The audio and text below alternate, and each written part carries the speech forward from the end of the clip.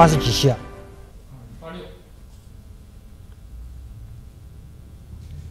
大家好，我是刘龙珠律师。今天是一周龙珠会第八十六期，美国时间三月十三号。好，关键时刻还得靠女性。中国呢，吹中国有个吹哨人叫做艾芬，然后呢，美国呢有一个吹哨人叫做哈伦丘朱医生，这两个呢都是女的。我们先讲一下艾芬的事情。之前呢，在艾芬之前，中国有个吹哨人 （whistleblower） 叫李文亮，小李，他呢是当时最初八个人，呃，当时呢说这我们有不明肺炎，他当时怀疑是新冠肺炎，所以呢四处传播。结果呢，第一他会人传人，第二他会致命。结果呢，他没有，不但呢他这个第一手的讯息没有得到大家的重视，并且呢被找去写训诫书。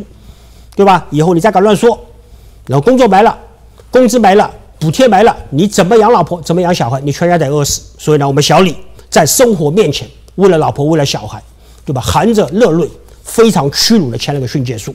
当然，小李现在已经不在了，但是呢，现在又出来个小李更狠的女版的小李，叫艾芬。这个艾芬呢是怎么是怎么个情况呢？他呢也是个医生。他说啊，是二零一九年十二月三十号拿到一份不明肺炎病人的病毒检测报告，他就把这个报告拍下来，这传给他的朋友，也是也也是一些医生，他呢，并且用这个红色圈出了 SARS 冠状病毒这样一个字样。转发报告这批人就包括那八个被警方训诫的医生，也包括小李。所以小李的东西呢，是我们这个艾芬艾大姐发出来的。他说呢，作为传播的源头，他被医院纪纪委约谈，遭受了前所未有的严厉的训斥。训诫书没有写，但是呢，被骂了一顿，骂得口血喷头，对吧？可能骂完之后，脸上呢还得去洗脸，因为脸上沾了不少唾沫。说他作为专业人士在造谣。那么现在呢，这个艾芬呢，他呢，他说后来证明李文亮是对的时候呢，他说他不是激动。是高，也不是高兴，而是后悔。他后悔呢，没有大声疾呼，所以他的原话这么说的：“他说早知道有今天，我不管他批评不批评，老子到处说。”所以，我们这个艾大姐呢是非常自信，对吧？虽然是女的，她开口老子，闭口老子，所以呢，还是呢有这个我们女女性豪杰的作风。所以，她她她这个其实呢，我也可以理解。她说。早知道有今天，我管他批评不批评，是吧？当时你我应该我应该到处说，为什么不说呢？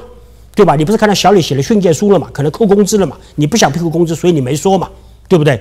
所以他特别强调，我们这个艾大姐，她呢不是吹哨人，她是传哨人，她是第一手，小李李文亮才是第二手，是我拍下来发给你，你呢才去吹哨的，你才去传播出去的。所以呢，我比你更牛，我的功劳比你更大，我比你更了不起。这个话呢也没也没错，因为第一呢，第一手的确是从艾芬出来的。那第二个呢，就是说美国一个美国版的吹哨人叫朱医生，呃，Helen Chu，他的原话这么说的，他说：“It's just everywhere already，已经发生了。”他呢，他是他是什么情况呢？他是一月二十一号啊，从有一个武汉回西雅图的一个华人工程师被鉴定为新冠啊肺炎。虽然呢，就华盛顿呢，他们呢，也相关的部门呢做了一个排查，认为呢，他跟其他的密切接触者，呃，没有密切接触。但是呢，他开始警觉，他说究竟有还是没有？你这个排查是不是彻底？是不是有可能彻底？所以啊。呃，但是呢，他觉得说应该呢要去做更多的测试，做更多的病毒测试。但当时呢，当时的 CDC 的规定呢是这样的，他说，你呢必须要符合两个条件才可以做病毒测试。第一呢，就是你去过疫区，比如说你去过武汉，你才可以做病毒测试。那第二个呢，就是说你呢要，呃，跟这个已经感染的病患做过亲密的接触，你必须得符合这两个条件里面的一个，你才可以去做测试。但是我们朱医生的。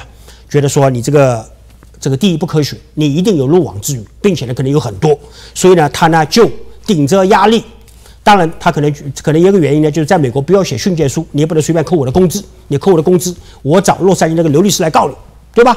所以呢他不怕，所以他呢还是自己私下做了个测试。做了测试之后啊，现在呢他发现这个情况严重了，因为为什么呢？他在二月二十五号，他越过 CDC 的检测条件和规定，自己在临床实验室做了病毒测试。第一批结果他呢吓得半死。本来因为呢本地一个没有出国旅行、没有去过疫区，就没有出过国，也不可能去过武汉，并且呢也没有。与确诊者密切接触的高中生验出了新冠病毒，这是华盛华盛顿州的第二个确诊的病例。所以呢，他一验吓了一跳，他觉得说大事不好了，天已经塌下来了。因为我随便一测，测了第二个，其实可能早就有，不是第二个，也第三个、第四个、第三十个已经出现了，我们只是不知道而已，对吧？所以呢。他当时呢，这个事情发现有人死之后，CDC 吓了一跳说，原来已经有死人了，不但已经有死人，并且呢，在短期内越死越多，星星之火可以燎原，死一个可能表示死十个，死十个可能表示死一千个，所以呢，每个人吓得半死。结果呢，所以后来呢，CDC 才把这个权力检测的权利下放到州政府，下放到地方政府。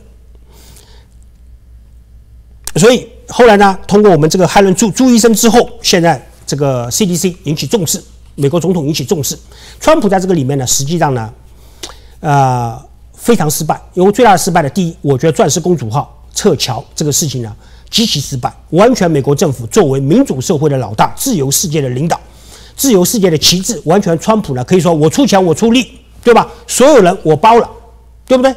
我了不起，拿个三个亿，拿个四个亿，钻石公主号，每个人把你们送到一个岛上，我们来提供。医疗设备，我们提供医生。我们在荒岛上，中国十天建了个方舱医院，我们没那么凶悍，我们二十天建个方舱医院总行吧？对不对？他没这么做，他觉得来说，哎，你们美国公民，哦，你们回来，你们孙子不是美国公民的，你们爱怎么地怎么地吧，我不管了。结果呢，大家至少门前雪。结果的情况什么呢？最后每个人的屋屋顶全部都是霜，因为这个是。有句话叫“同体共生”，是不是同体共生我不知道，但通过新冠肺炎可以看出来呢，是同体共死。只要死了一个，就死了一片，死了一片，整个地、整个城市、整个国家可能全部死翘翘，对吧？从封小李的口，从封口到武汉封城，现在呢到意大利封谷，现在只是只是一个，可能接二连三，一堆国家全部开始封谷。那最那整个世界眨眼之间，因为封了小李的口。一下退回到一千年前，对吧？很快，我们现在也不用上电脑了，对吧？也不用这个，当然上电脑最大的不好，你你们看不到我的节目，不过没关系，至少我们一下回到一千年前，对吧？每个人开始穿草裙，拿钢叉，围着篝火跳舞，那至少也好，也健康，对吧？至少自己动手，丰衣足食。但是我们从这个 爱芬，对吧？到这个美国的朱医生发现什么呢？一个点，他们都是女的，所以最最关键的时候，这个推动历史前进的，其实都是女性，不是男的。我们举例说明，我们中国历史，对吧？那个李自成几十万人，死伤无数，打仗打了几十年，然后终于夺取政权。那么后来呢？因为这个抢人家吴三桂的小老婆，叫陈圆圆，小陈，结果不给。结果后来呢，清兵入关，整个大明王朝也，然后呢，屁股还没坐了就灰飞烟灭，对不对？所以这是历史上的一个典型的例子。那我们看西方历史，却木马屠城记也是一个女，也是因为一个女的，结果呢，整个国家被灭掉。所以整个历史的大事件，它的它的变化、它的前进、它的进化，完全都是由女性来推动的，而不是男的。对吧？我们看这个刘强东，老刘，对不对？这个京东多少兄弟，对吧？这个送货啊，这个质量要好啊，怎么写评分呐，对吧？不能偷懒了，迟到五分钟要被罚钱了，对不对？然后呢，各种折腾，不是几十个，不是几百个，不是几千个，几万、几十万个京东快递，这个兄弟每天呢，这个分秒必争，要打造京东的品牌，结果呢，被我们一女的小刘，十九岁的一女的小刘。对不对？这么一下折腾，京东市值掉了一半，几十几万个、几十万个兄弟的，在每天的流血流汗，全部掉到马桶里去了，对吧？所以换句话说，像我们在我们现在看现在的，之前还有啊，对不对？孟姜女哭长城，对不对？长城多少人建呢？多少人建了几十年，对吧？各种各种什么挑砖头啊，什么抬水啊，就可能死伤无数，对吧？结果得罪孟姜女，孟姜女一哭，长城倒了，是不是这样的？所以这个事情呢很简单，什么意思？千万不能得罪女的，好男不跟女斗，不是说你客气，你斗也斗不过，死的永远是你。有人说女性能顶半边天，这是胡说。女女性本来就是天，男的就是天下面的几朵浮云，只要天一变脸，立刻烟消云散，你死无葬身之地，对吧？我们看这个杨排劳之前也有，对不对？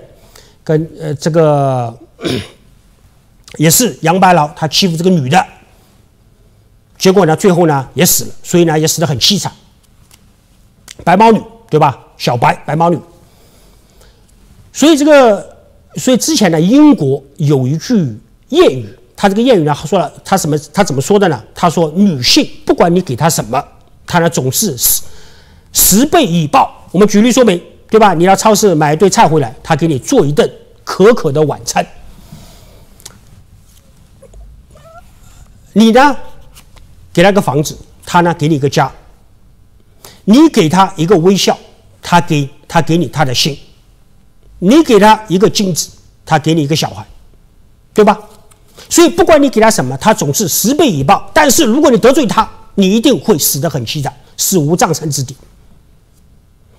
所以呢，为什么一个三八妇女节？三八三十八什么意思？有句话叫“三十如狼，四十如虎”，对吧？三十八这是承上启下的年龄，是最凶狠的、最有战斗力的年龄。第一，身体好；第二，饱经沧桑，经验丰富，所以呢，对于女性，尤其是中老年女性，大家一定要尊重。因为为什么？你得罪她，你一定死得很凄惨。所以呢，为什么一个道理叫三八妇女节，就这个道理。那今天的节目呢，到此为止。希望大家呢，这个在家里，第一注意安全，第二多看我的节目。因为为什么？我现在有没有确诊也不知道，当然呢，也没有疑似，对吧？万一我挂了，这个就是你们看的最后一期节目。所以一定要珍惜，好，谢谢大家。